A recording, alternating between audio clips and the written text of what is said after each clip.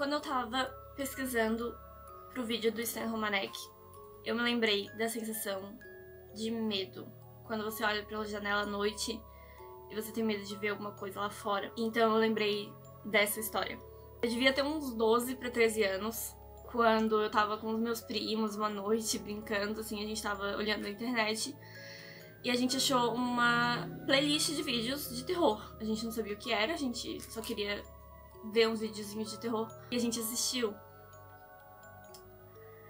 No fim daquela noite, a gente tava com medo de ir no banheiro sozinhos. Please! A gente não queria olhar pela janela, a gente não queria nem dormir sozinho. Foi nessa noite que eu conheci Marble Hornets. Marble Hornets foi uma série de vídeos que eu não entendia exatamente para que eram, eu não sabia o que eram. Eu só assistia pelo susto e pelo mistério. Eu entendia parte da história quando eu era mais nova, mas eu nunca percebi o que esse o que essa playlist, essa, essa esse canal de vídeos era de verdade. Eu esse essa esse canal, esse canal no YouTube definiu terror para mim. Esse canal no YouTube foi assim uma das minhas primeiras referências de vídeo na internet, de fama na internet e de terror. De verdade. Terror bem feito, terror realista. Pra época, claro, né? Porque se você assistir hoje em dia, você ainda leva susto, ainda levar susto. Mas você percebe um, os efeitos que são usados e tal.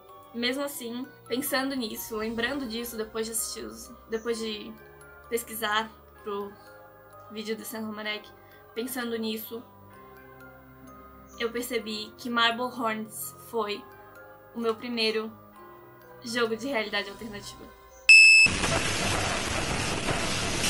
Bom dia pessoal, meu nome é Nathalie e no vídeo de hoje nós vamos falar sobre Marble Hornets, o meu primeiro jogo de realidade alternativa. Marble Hornets foi uma série de vídeos que começou em 2009 no YouTube e ela é baseada na lenda do Slenderman.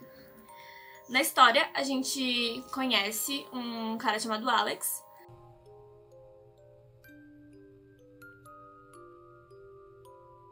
Só que a gente não conhece. Ele não é a primeira pessoa é, ali nos vídeos.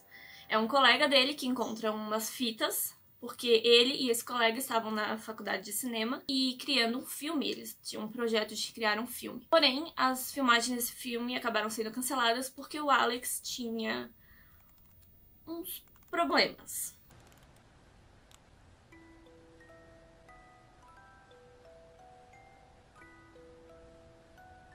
Acreditando que essas fitas eram apenas filmagens pro filme, para esse projeto deles, é esse personagem resolve assistir. E aí ele começa a mostrar pra gente todas essas provas e evidências do Slenderman que o, que o Alex coleta nessas fitas.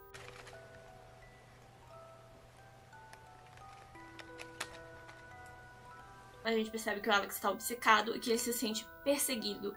Não só ele, todos os outros membros da equipe de filmagem acabam sendo perseguidos por essa entidade que é o Slenderman. Uh, let's, uh, just whenever you're ready. E eles também brincam com isso e criam toda uma seita envolvendo a existência do Slenderman nesse universo.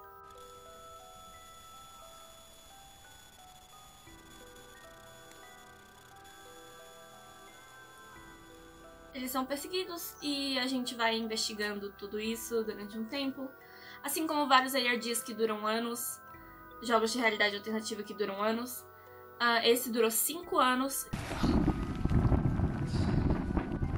Eu não vou contar a história toda pra vocês, não, vou, não tô aqui pra, né? Se você quiser assistir, se você quiser assistir ver como é que é, assista, é muito bom, eu recomendo. Os sustos são ótimos.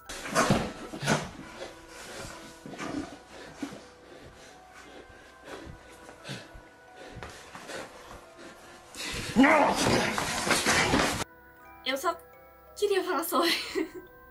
mostrar pra vocês algumas cenas. Se vocês ficarem interessados, assistam. A gente descobre pela história o que vai acontecendo com os membros da equipe de filmagem e como eles estão sendo afetados pelos Slenderman.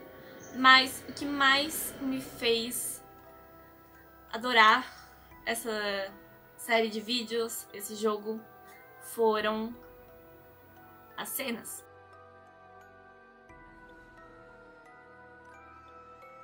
As imagens, os sons.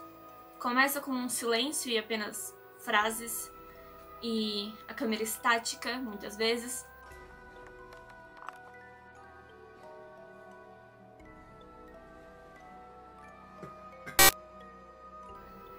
Cada parte, cada minuto parece perfeitamente planejado para fazer você sentir do jeito que o personagem tá se sentindo, ou pelo menos perceber o que ele tá sentindo naquele momento. A tensão, todos os, os sustos. Os sustos são ótimos. Os sustos são uma parte maravilhosa. Manipulação da câmera, a tosse, o Tim tossindo é uma coisa que você nunca vai esquecer.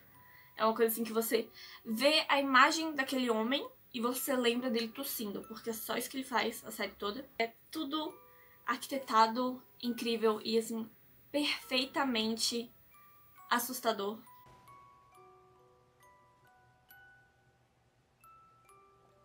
É isso, esse é o vídeo de hoje. eu não quero contar a história. Eu não quero, assim, sabe, dar spoiler. São 5 anos, eu não vou ficar aqui falando de 5 anos de história. Mas se você quiser, coloca nos comentários que eu posso fazer um resumo da história aqui pra vocês. De qualquer maneira, vale muito a pena. Porque é surreal, assim, a quantidade de edição, a coisa planejada que eles fizeram. E eles também tinham uma conta no Twitter, na época, onde os jogos eram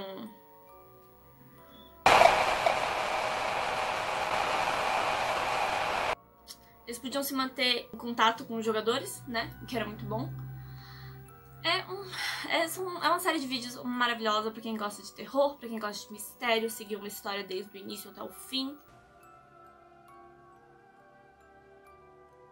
Eu espero que vocês tenham gostado. Eu consegui fazer ficar um pouquinho mais escuro. Eu não sei como é que a minha câmera tá lendo isso, mas eu espero que esteja bom. Uh, se você gosta desse tipo de conteúdo, jogos de realidade alternativa, mistérios, casos criminais, maquiagem, se inscreve no meu canal.